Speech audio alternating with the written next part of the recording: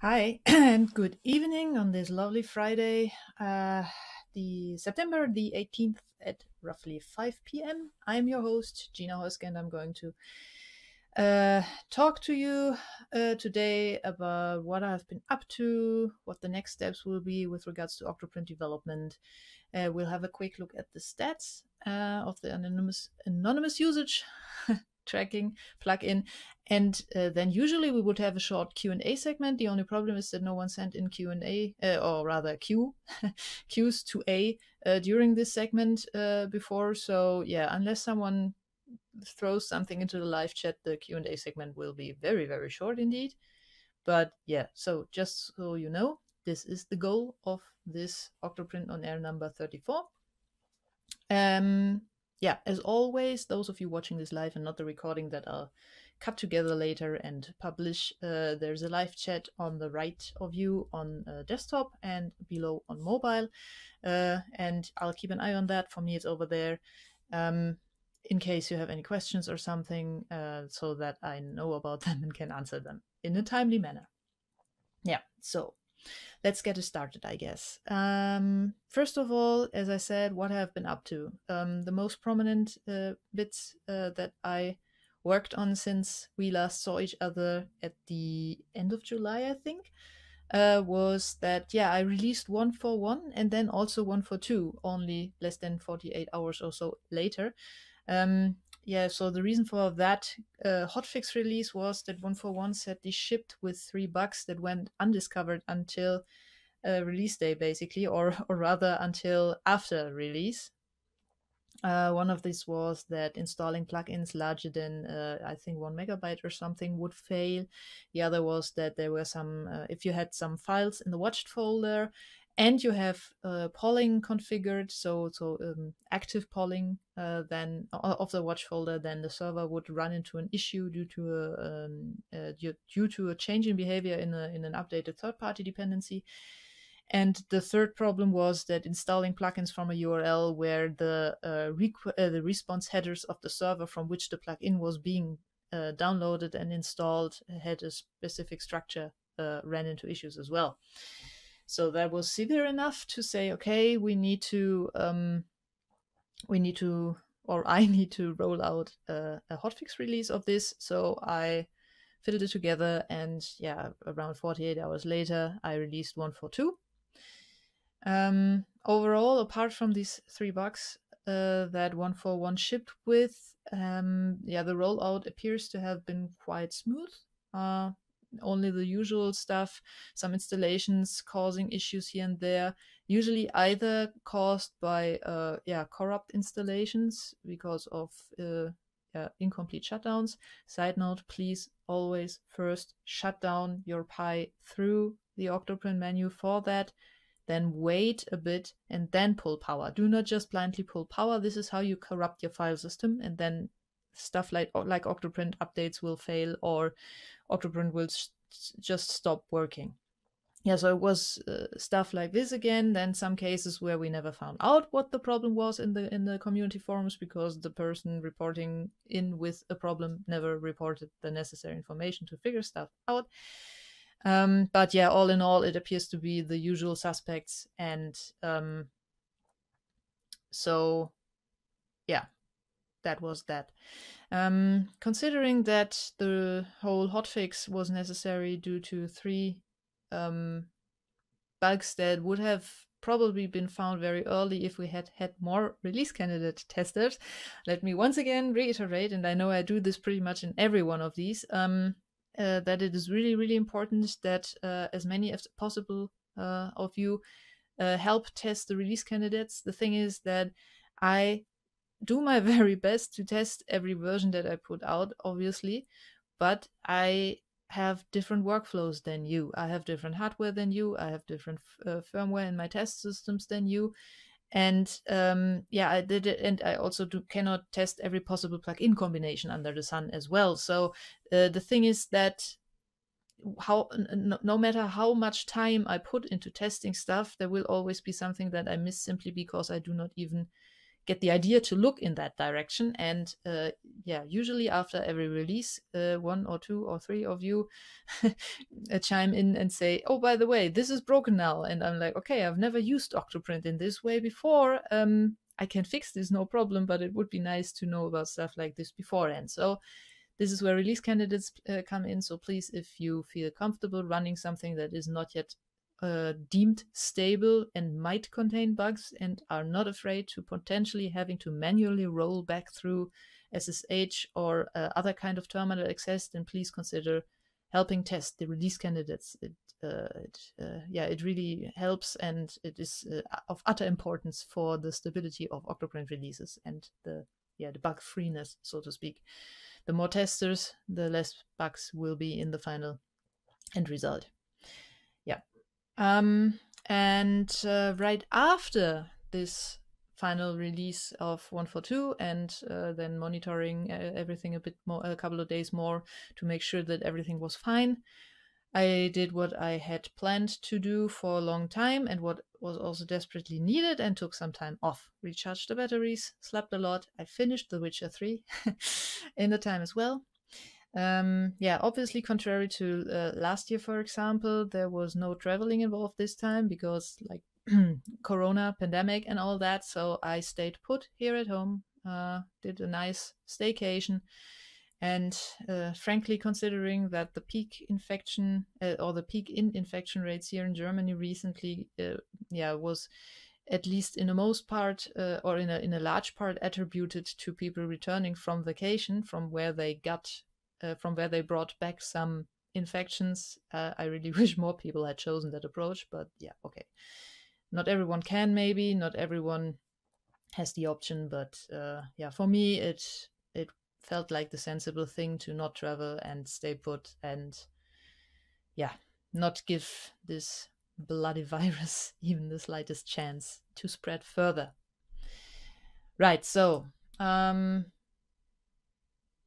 around a bit over two weeks ago i got back from my vacation from my staycation and uh, yeah, I was greeted with a couple of pull requests in my inbox, which was a nice change. Usually, I just find um, bug reports when I get back from vacation and then have to spend like three weeks or something uh, slowly working through everything and sifting through everything that accumulated. But uh, this time it was a really pleasant surprise to see that, uh, yeah, there were some bug reports, but there were also pull requests that fixed the bug reports.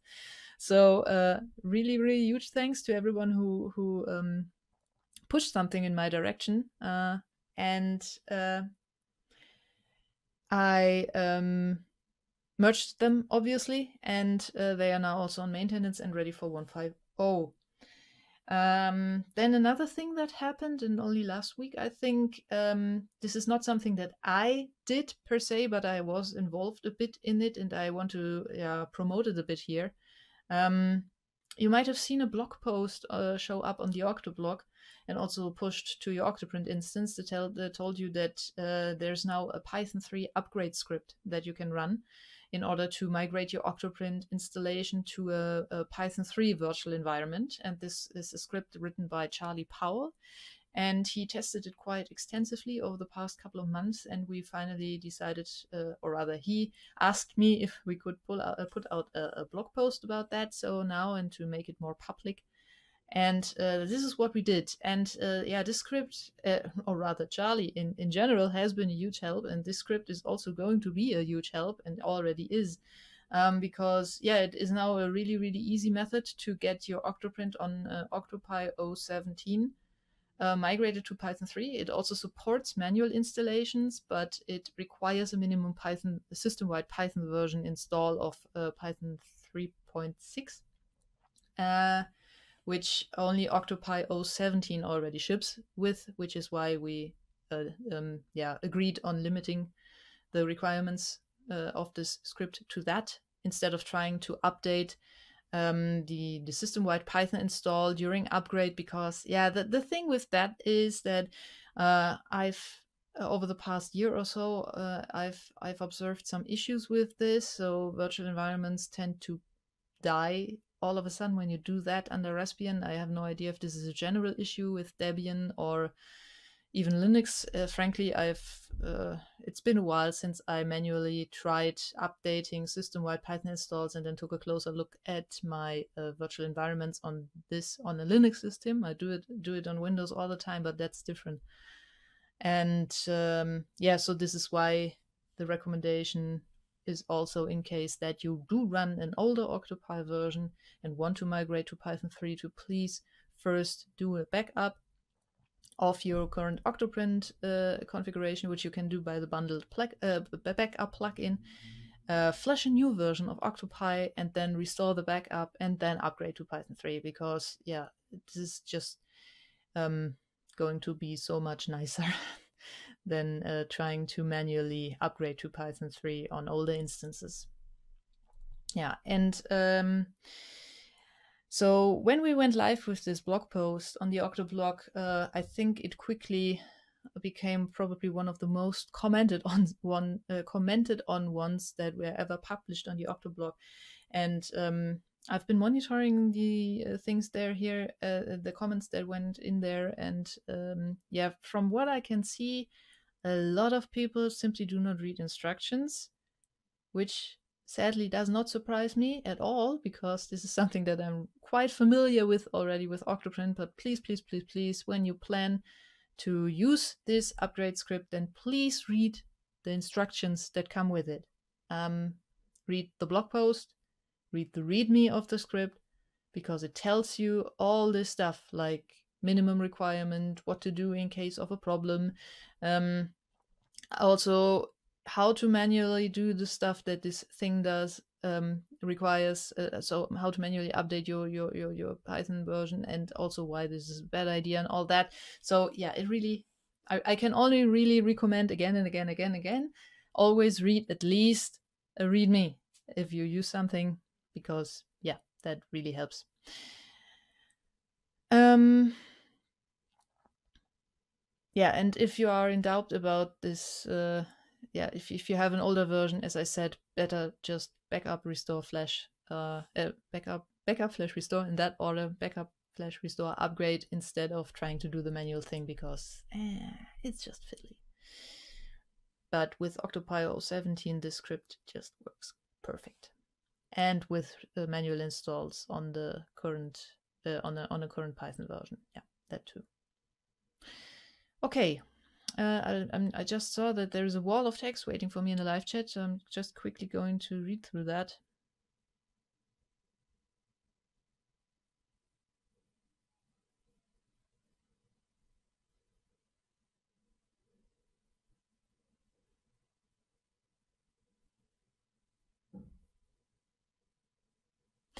Uh, yeah, Yander just asked if uh, there is a way to change back from an RC to the old stable release within the web, web interface. So usually, um, if you have selected a release candidate, uh, release channel, so maintenance RCs or devel RCs, you have updated to a to a release candidate, and then you uh, switch back to the stable channel. It should ask you to downgrade.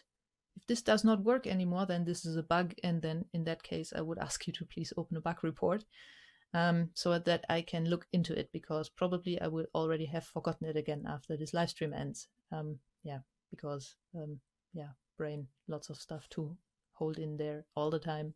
Stuff just slips through if it doesn't end up in the bug tracker. Always when you encounter something that doesn't work, bug report, please.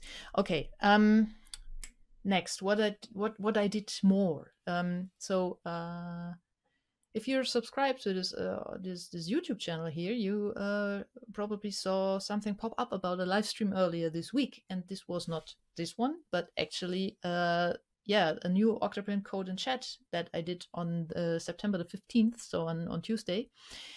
Um, yeah, that was something that was long, long overdue, and I did uh, I had a long break in those things. I started them during the, during yeah basically during the beginning of lockdown here in Germany, and um, yeah did them every time that I found something that would be interesting or fun to do on a live stream. And um, yeah, I, I hadn't found something like that in a long while. Um, so I figured it might be time now. And um, yeah, during this live stream, I uh, yeah was the usual thing. I just coded on Octoprint, had an eye on the chat, talked to you all, and um, what I did actually did on Octoprint uh, during this live stream was that I implemented support for version ranges in plugin notifications uh, that uh, plugins.octoprint.org can push to your install, and that will make the work of the plugin repository maintainers, t- maintainers myself included, uh, very much easier in the future. So that was a feature that got realized during a live stream. Yet another one of these, and uh, yeah, that's it's usually a bit weird sitting there having like I think the peak number of people watching was something like 30 or 40 um, having these many people basically look over your shoulder and um, seeing everything that you do in the code and uh, also how you react to it because i also obviously have a webcam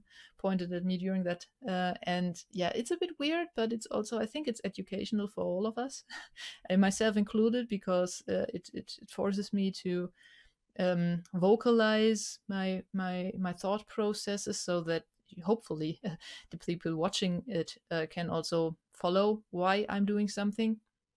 And uh, yeah, it's also nice to sometimes just get ideas from the live chat about how to do something easier or to do it in the first place and to to get live suggestions how to make a feature even better. So that is really great. And I hope to be doing those again uh, uh, a bit more often. Uh, obviously, it, it, always depends on whether I can find something that is yeah suited to be live streamed. Uh, I really do not want to do something like me two hours uh, trying to figure out a really really obscure race condition or something and in the end there, the, there is no progress at all. We just have looked at the code for two hours and wondered why something breaks or doesn't break at points. And yeah i think that would be very frustrating for all of us uh, to watch and to experience. So this is stuff that i rather do on my own with uh, loud music and potentially also a trip to the punching bag here and there. But yeah. Um, okay, so what else did I do? Because I'm not yet finished with this list of stuff. Um, yeah, as I mentioned uh, earlier, I already merged some stuff into the maintenance branch, some PRs that I got uh, for for in preparation for 150, and I also did some own work uh, towards what is going to be the next maintenance release. And first of all, those of you who have followed Octoprint for a while will notice wait maintenance release, but the second number in the versioning versioning uh, scheme changes.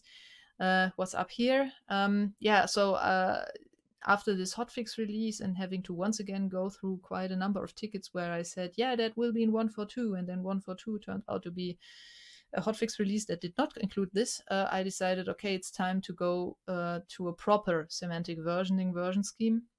So from now on, uh, maintenance releases will always increase the the second number in the in the version. So in case of one four two, we have a one which is the major, we have a, a four which is the um, minor, and we have a two which is the patch this this is how you usually call these things in semantic versioning.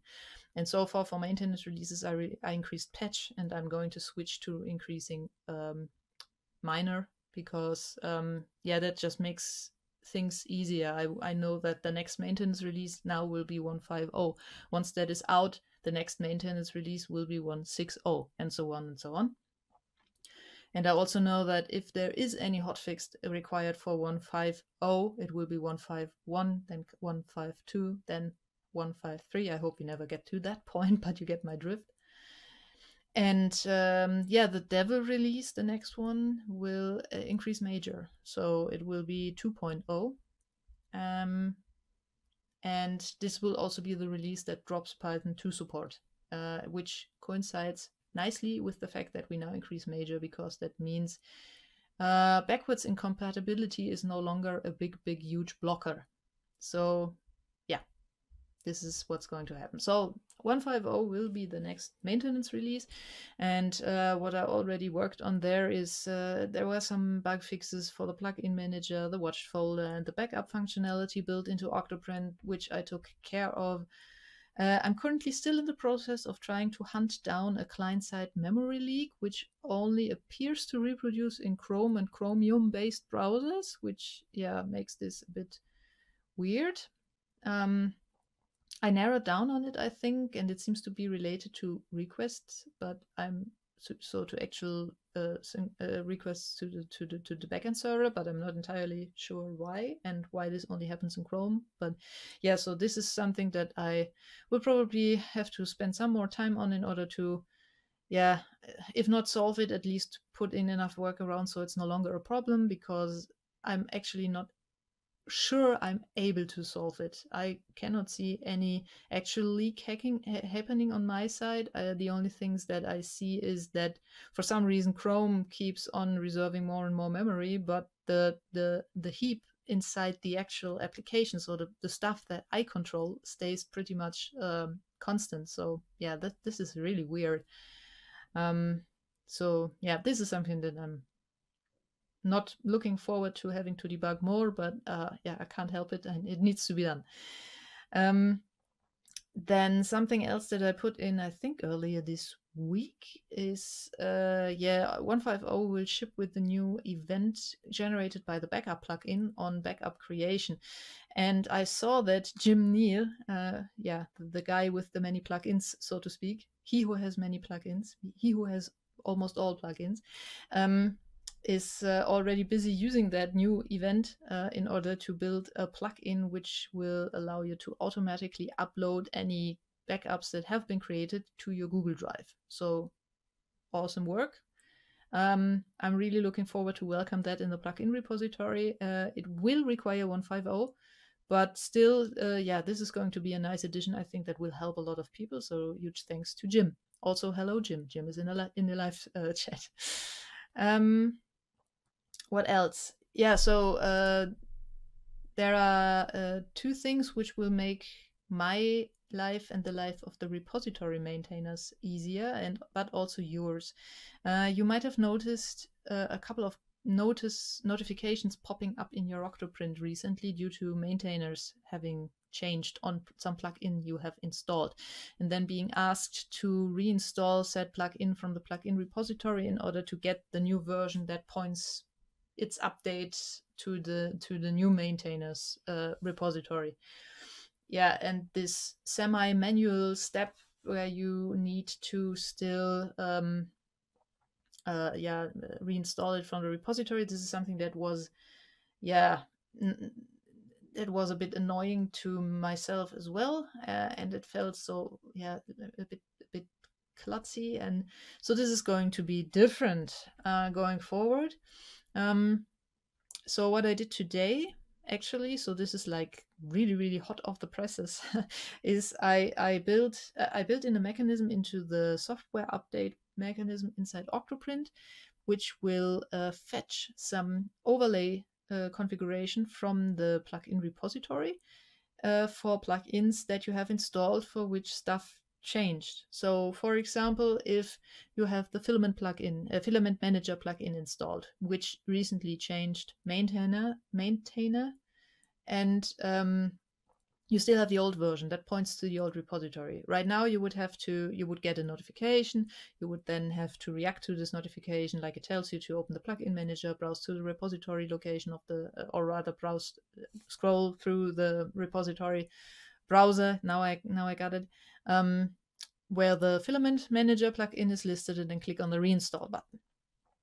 In the future, what will happen is that Octoprint will pull in uh, some tiny uh, uh, JSON file from plugins.octoprint.org, which will tell Octoprint, by the way, uh, for the Filament Manager plugin, the update uh, configuration that you usually use should not uh, have these default values, this default repository where it points to, but rather the other one, this one that I tell you. So the default configuration in a plugin will get an overlay fetched from plugins.octoprint.org.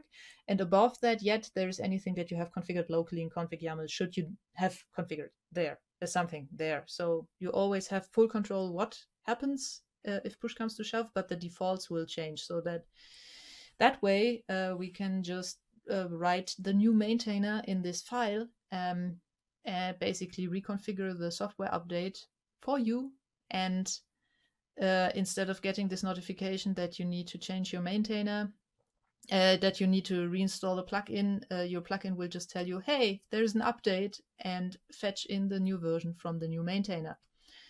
And uh, yeah, I think this will save everyone involved in these uh, maintainer switches a lot of headaches, especially since these are very, very, very likely to uh, increase in the future. As we are um, looking at uh, quite a number of plugins which yeah, appear to be abandoned now that everyone is asking the plugin maintainers to please um, add Python 3 support. So yeah, the goal is that with 1.5.0 there will be less of a headache for everyone, hopefully. Wish me luck that this actually works out. Um, I still might. Let me quickly think about something.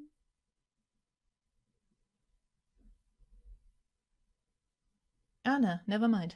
I just realized a, pr- a, problem that you would still get a notification, but I can also limit the notifications to uh, to older Octoprint versions. So I would do something like if Octoprint version less than 150, then display a notification. Otherwise, just update the update URL, update the update URL. Oh, well, you know what I mean.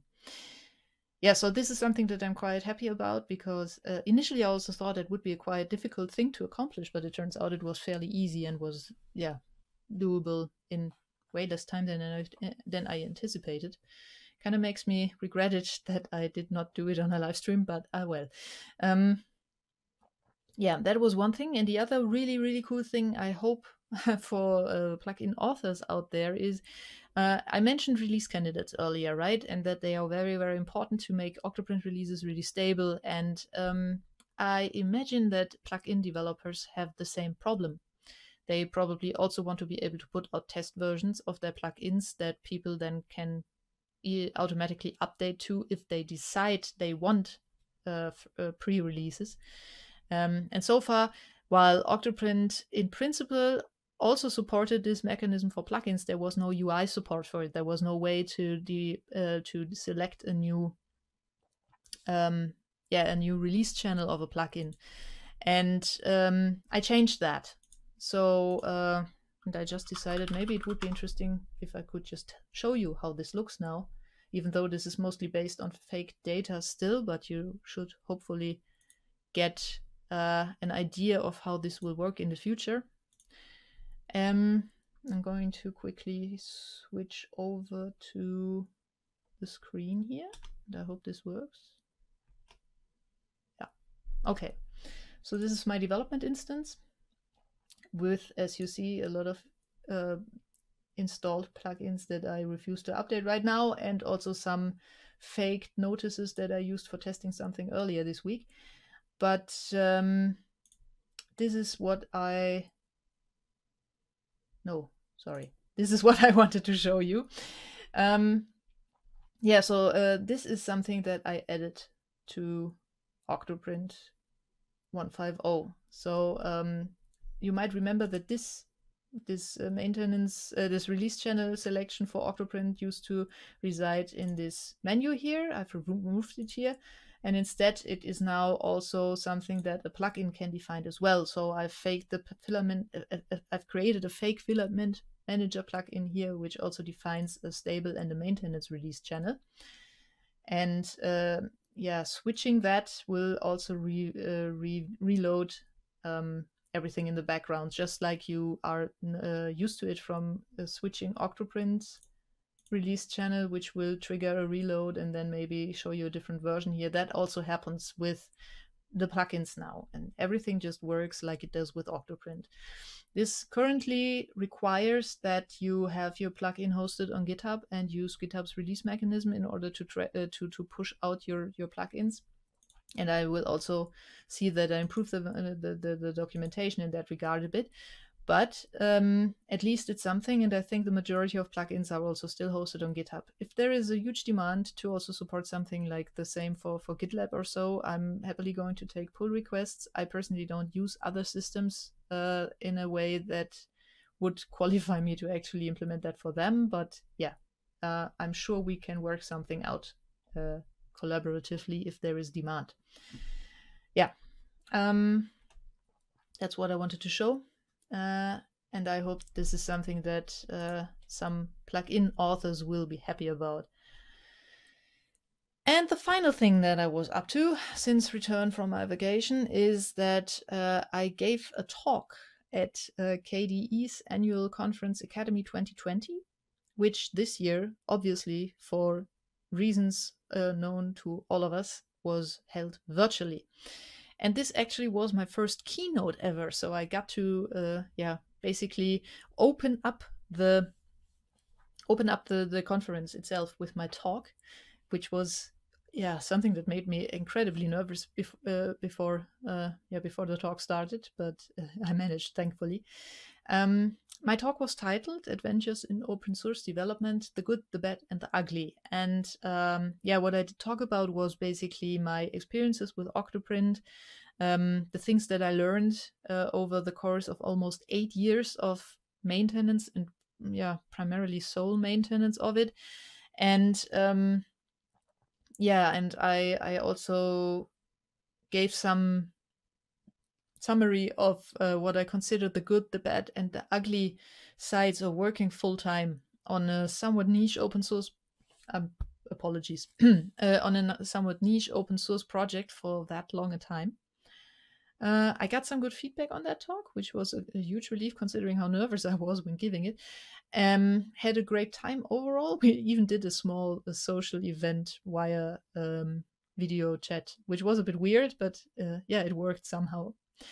Um, and yeah, I'll I'll put a link to the recording of that talk and the slides into the description uh, uh, of the final recording of this uh, live stream, just in case you are interested in that. Uh, I also tweeted about it if you want to take a look at it before that.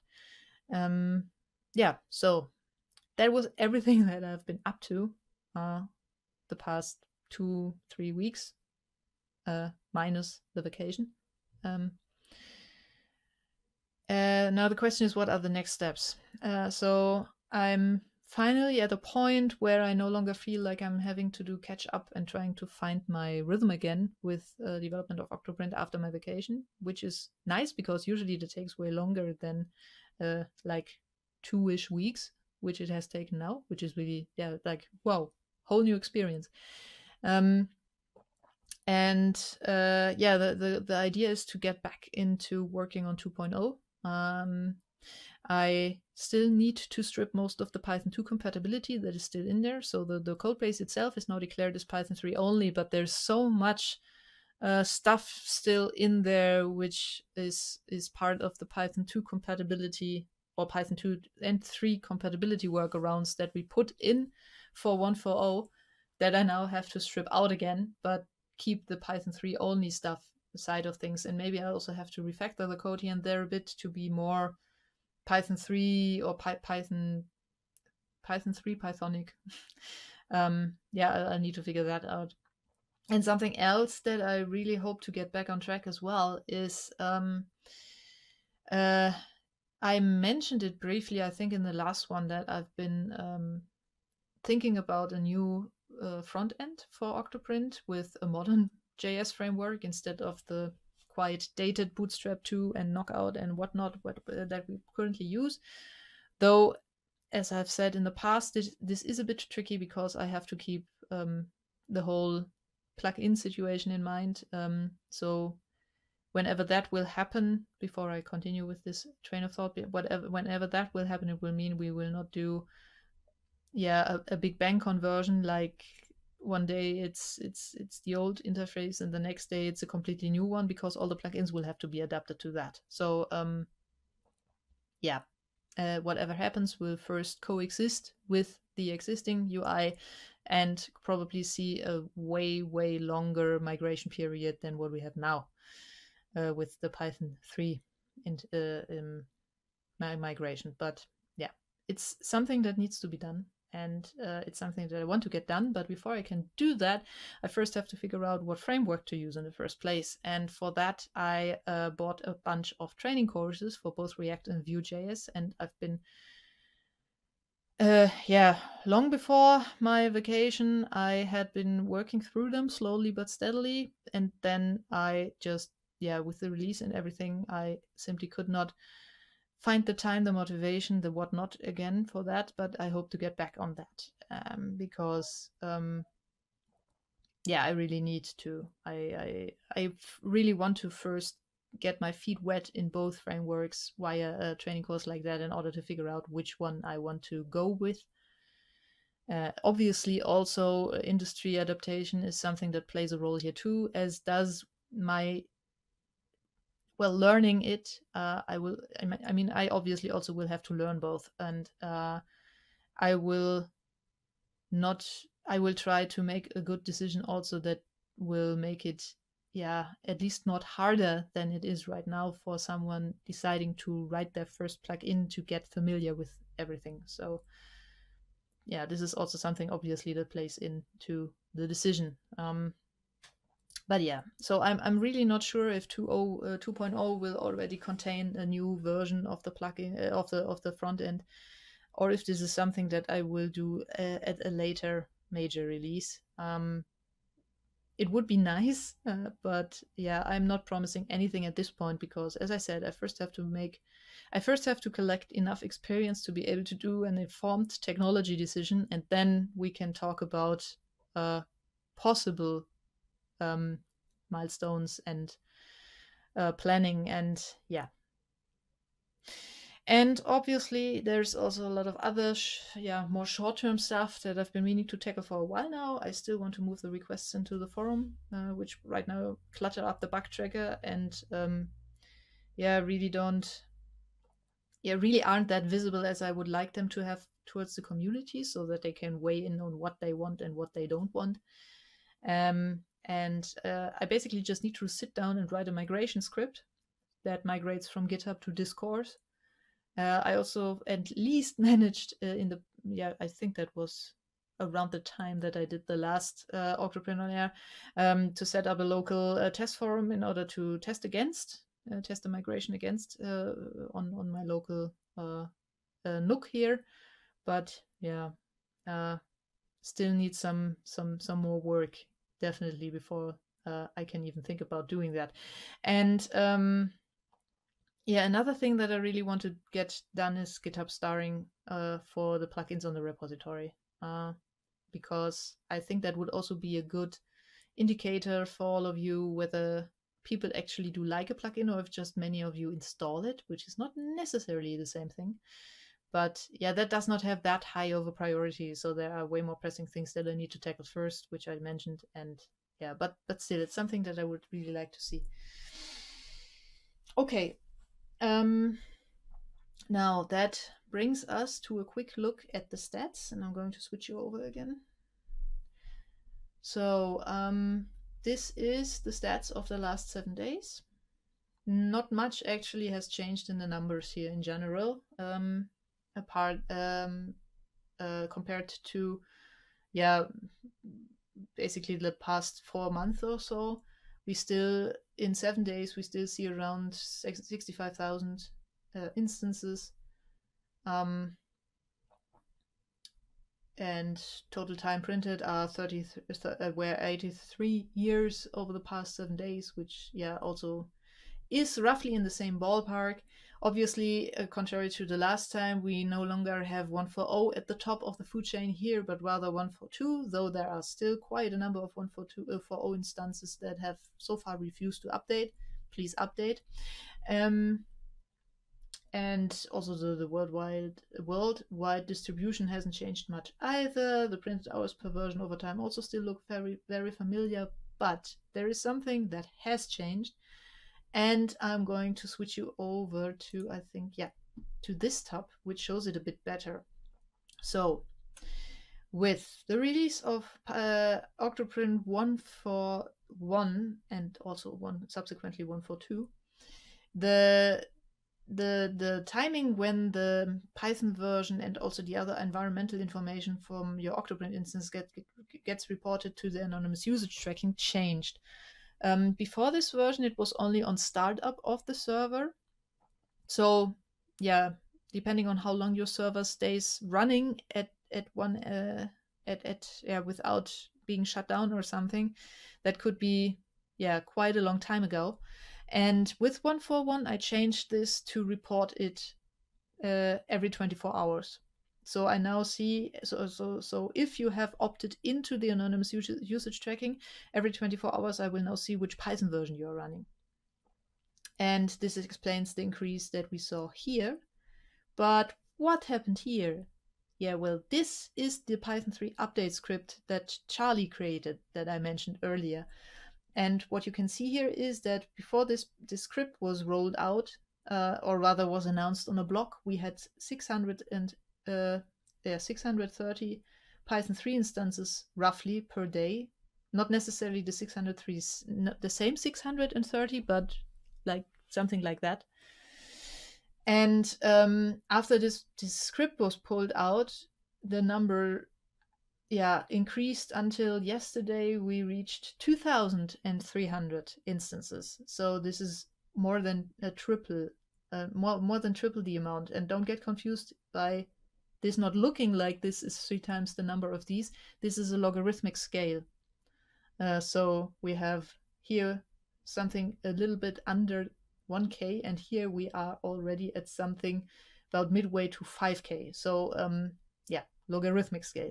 Just to maybe give you an idea how this looks in in a, in a linear scale and why this why this is logarithmic because it is otherwise a bit hard to see anything here because of this huge number of Python 2 instances. Um, so yeah, the logarithmic scale here really helps to uh, get a better idea of that was wrong. That was right. Yeah, yeah, yeah. yeah. Uh, get, gets gives a better idea of changes even for the underdog or still the underdog here. The goal is obviously to have the yellow line over overtake the green one, but I expect this will still take quite a while. Um, and Jim just Jim just suggested that it would be a good uh, use of the Grafana GitHub data source plugin to have release annotations overlaid on your graphs, on my graphs. I agree. That is actually something I still have to look into this uh, this plugin because that really sounds interesting. Also to get an idea about, um, yeah, increase in bug reports and all that, uh, coupled to certain events that uh, are related to the project in general. Yeah. Um, but I still haven't found the time to take a look, sadly. All right. Um, another thing that I wanted to show you is this, which made me go, "What the fuck?" Worried. I'm not going to say the F word here, but you can imagine what it was.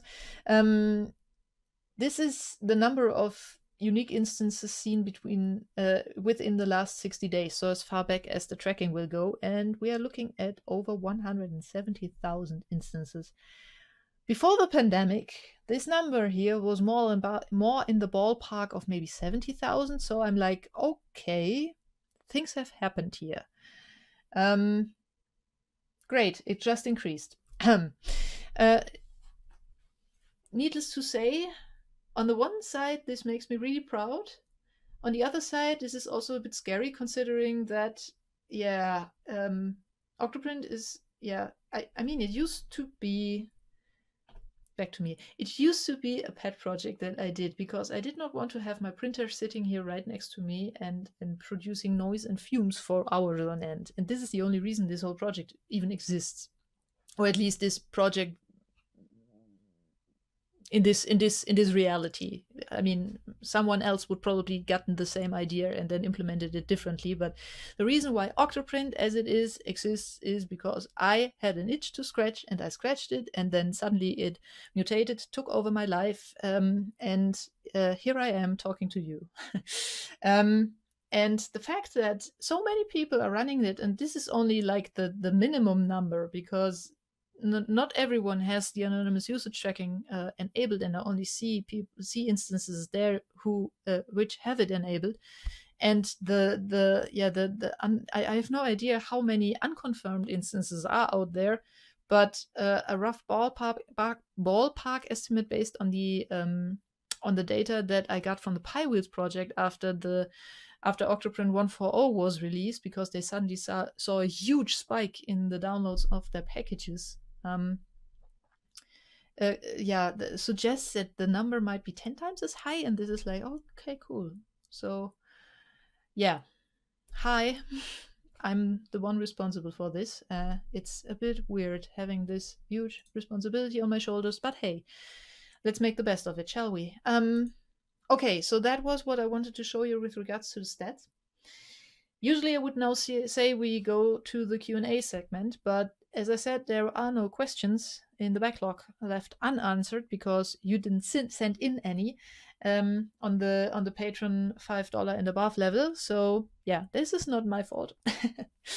but uh, yeah, I'm going to take a quick look over the at the live chat, which yeah, there's also no questions there. So yeah, in case you want to ask something now, those of you watching this live, please do. I'm going to take a quick sip from my uh, from my water bottle. Mm.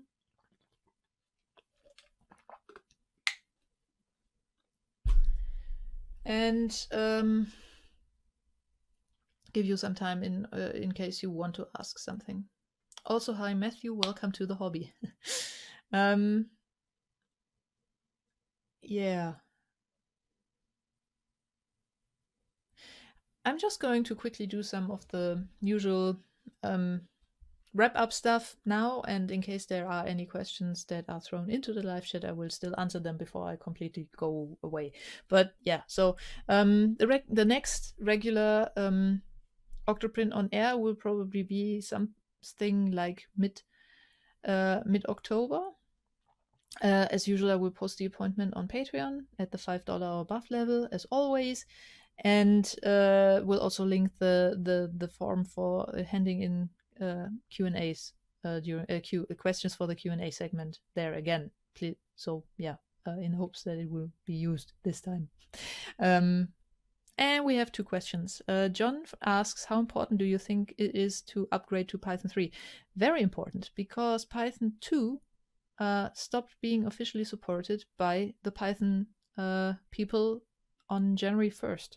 So uh, it's going away. Uh, that doesn't mean it stops working, but there will no no longer be any kind of uh, security updates for it or anything. And uh, Octoprint will also switch to Python 3 exclusively uh, with 2.0.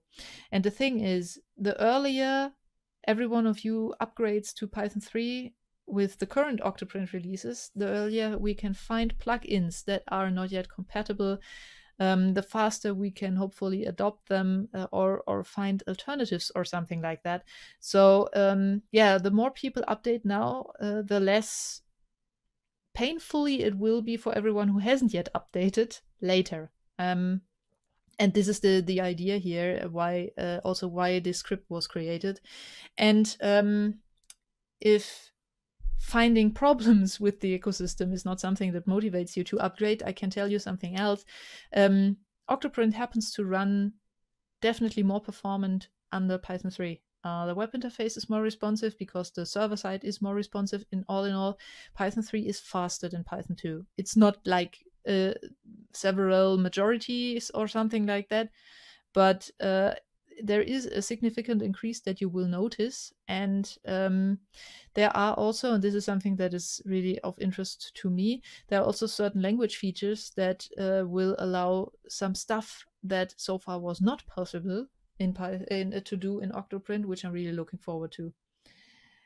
Um, okay. Uh, Jim asks, does the new backup complete event trigger on command line interface commands? Uh, no, it doesn't.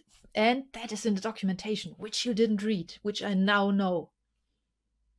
Sorry, couldn't resist. But yeah, I think I didn't even put the event uh, bus into the command line, so I think it doesn't get uh, uh instantiated there, and uh, also plugins do not get instantiated then, then uh, unless they are command line plugins. So um, it or unless they are a specific plugin, or at least I'm fairly fairly sure they do not get instantiated. Um, so you you would not be able to react to it there. But um, we might be able to at least trigger the event. But yeah, that that would. Mm. We could look into at least making the event bus work for plugins so that you could get an event handler called in your plugin when the command line stuff is run. But this, yeah, this is not something for 150, I think, because that will uh, mean quite extensive changes. But yeah. Um,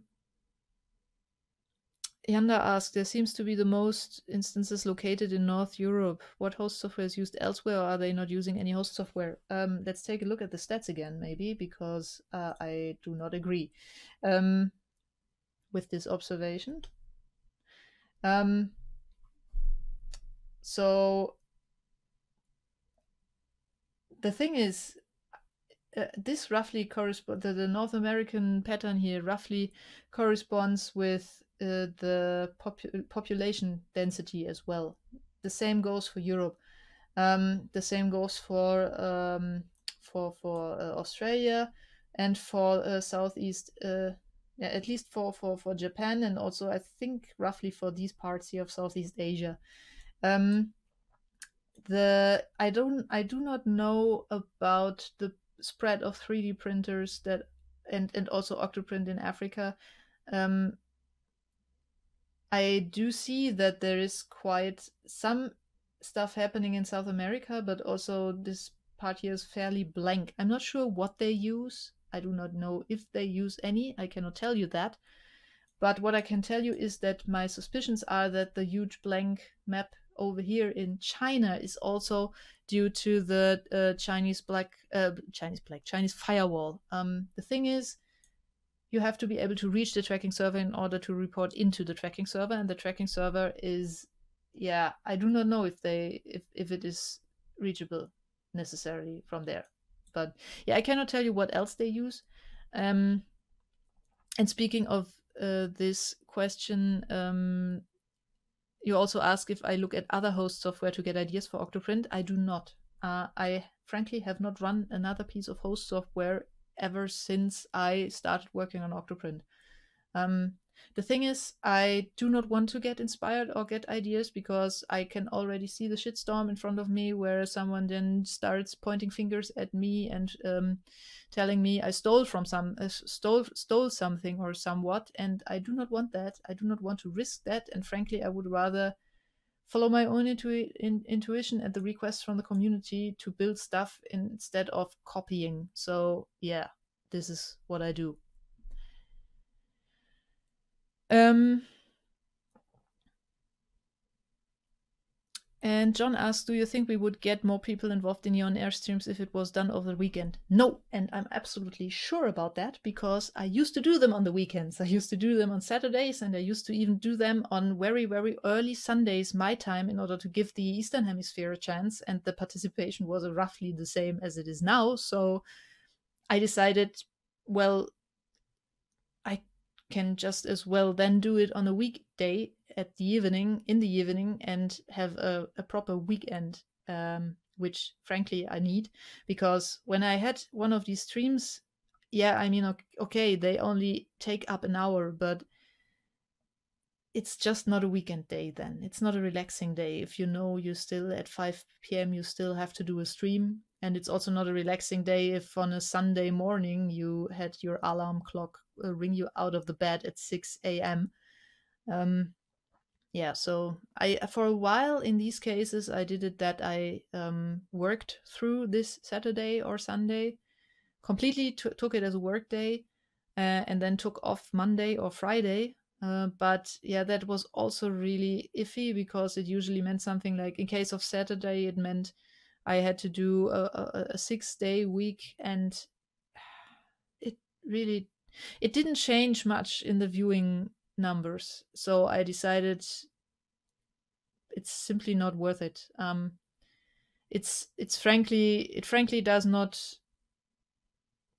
It is frankly not worth it to get maybe one person more if uh, if if I yeah I feel like a zombie for for one week for that uh, and build bugs into Octoprint. Um, so I tried a lot uh, in the end, I figured out well, if attendance is roughly the same across the board, regardless of what I do. I might as well do it at a point which is most convenient to me and which I can schedule um, best and not have to forego on visiting friends. Okay, I mean, obviously, right now, visiting friends is certainly something that usually is uh, prevented by the pandemic, but back then, uh, that was something I usually did on Saturdays um, and on Sundays. But yeah, so as I said, I've tried it. Uh, yeah.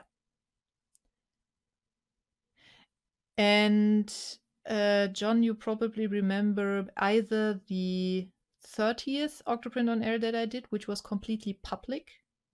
Uh, he's just said that uh, when he's joined, he, he met 60 or 70 people watching live. And there was one Octoprint on Air which had this high attendance, and that was the one uh, at the height of the lockdown here, where I said, okay, um, we all need to get away from the screen uh, from the from from, from outside and uh, just yeah looking at into at our walls is boring so i figured i might as well do the usually patreon exclusive live stream that is octoprint on air so the recording is public for everyone but the live stream is usually exclusive because yeah i figure it is like a goodie to get direct access to me that way and be able to uh, get questions answered and all that and also get like this live feed of development information and all that. Um, this is a perk. This is the perk at the five dollar level. So it usually is, uh, yeah, not made a public stream, but this one I did uh, publicly. Uh, I announced that before I um, pushed out notifications on social media and everything, and that had like this huge, giant attendance as a consequence. But that's that was the outlier. Um, the usual attendance here is really uh yeah like way last uh, way less people and i'm pretty sure it wasn't last year john because um i would remember that. I've never seen 60 to 70 people watching any of my live streams apart from uh this one that i did publicly and even the code and chats rarely go above 40 so yeah. I mean, I can get, I, I do get it. I also rarely watch live streams myself, I gotta admit, because usually I simply cannot schedule around it, around them. Um, I rather watch the recordings afterwards, and the recordings are watched, so everything is fine. And I uh, don't under, uh, don't don't get this as me holding a grudge or anything. It's just, um, yeah. I mean, I do them. Uh, I'm happy for everyone that watches them live. Uh, I will continue to probably uh, stay um, on on Friday evening, on Friday evening my uh, time um, schedule for them, and yeah, that's that. Uh, yeah. And uh, for every, everyone who wants to see me publicly embarrassing myself, there's always the uh, Chat one. Okay. Um, I think that was the last question, and we are also at almost an hour, which fits perfectly. In that case, yeah, um, let me just quickly wrap this up for good. Um, yeah, thank you all for watching this. Those of you who are watching it, uh, watched it live, thank you for being there and uh, making the live chat not as deserted as it could be otherwise. Um, I hope it was interesting. I hope you uh, got some insights into the development of Octoprint. And um, until next time, uh, please uh, wear a mask, stay healthy, and I wish you all happy printing. Bye.